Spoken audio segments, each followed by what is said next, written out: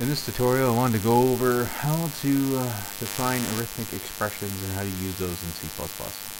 Um, so I have some of the arithmetic ex expressions uh, right here and for e easy reference uh, they're available on the internet. All you have to do is go to Google and type arithmetic expression and something will come up that tells you how to do it. Arithmetic. Arithmetic.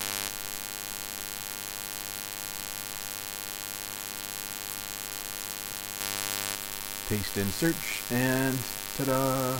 Okay, so those are written in C++. Uh, InformIT. Uh, let's see if there's another one that I like. Oh yeah, there's this website that I love.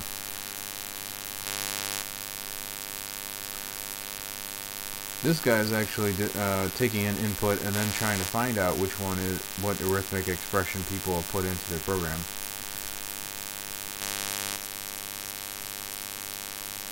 This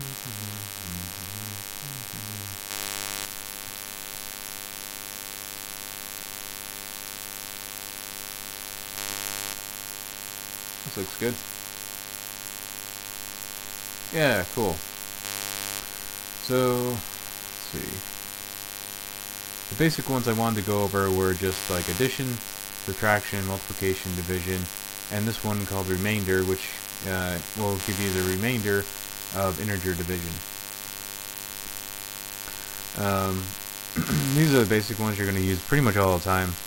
And I wanted to go over like a few math problems that you would generally see in real life. Uh, and then uh, you can look at the C++ syntax for that on the right.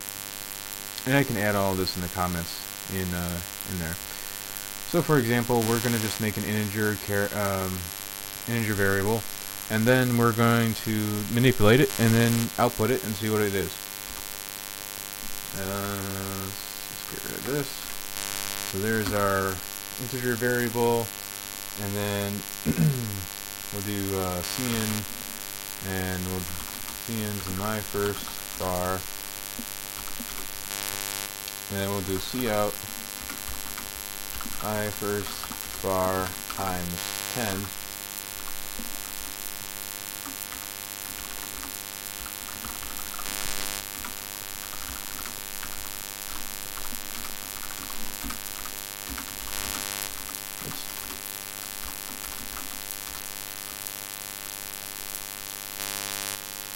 and we'll see how that multiplies. And then we'll do also do. And we'll just uh, copy that line actually.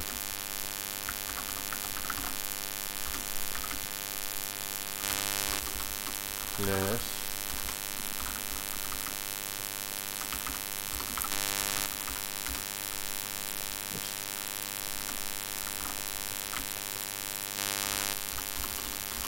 minus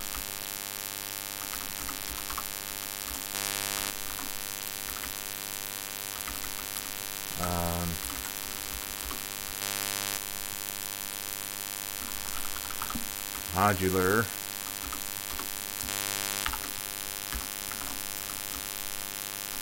uh, division.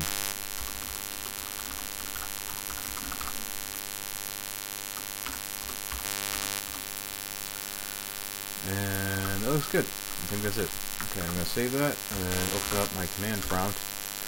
And I'm going to go to where this uh, program is located. And this is in users.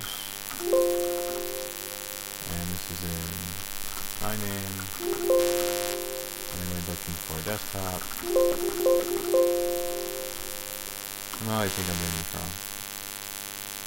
Slash users slash um in slash desktop C plus and then look for some previous commands. Okay, there are none. Alright. Type the compiler name you want to use, and then the uh, program you want to compile, and then we're going to output that to a file called miles.exe, and then we're going to compile that. It runs. So please enter a number. Let's enter um, uh, 42. I didn't put any inline. Okay. Did the math for us though.